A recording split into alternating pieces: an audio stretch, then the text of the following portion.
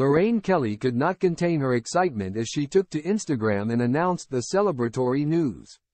Lorraine Kelly is set to become a grandmother for the first time after her daughter announced she is pregnant with her first child.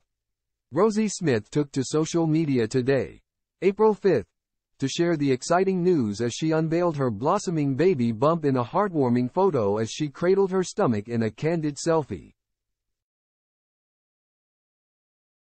Lorraine was among the first people to take to social media as she shared her excitement with a heartwarming photo of the baby's scan.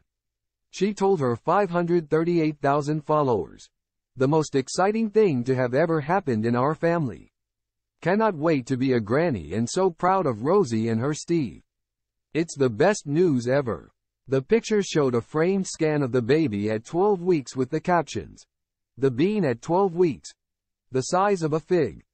The ITV presenter was quickly inundated with congratulatory messages from colleagues and fans alike. BBC host Adele Roberts gushed. What a blessing. Congrats. Author Rosie Nixon commented, The best news. So happy for you all. Congrats at Rosie Kelly Smith. The 64-year-old's daughter took to her account and shared the news with her 46,700 followers. Alongside a selfie, Rosie, 29, pinned, We could not be more excited. You're already so loved little one. Lorraine shares her only child with her husband Steve and previously said she was so lucky to have a fantastic and healthy kid in Rosie. The Scottish journalist previously lamented that not having more children was her biggest regret in life. When asked the question in 2021, she said, probably not having more kids.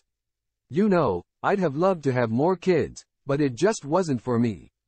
By the time we sort of thought about it I was in my late 40s. We were very lucky to have one very happy girl, so that was that, she told Bang Showbiz.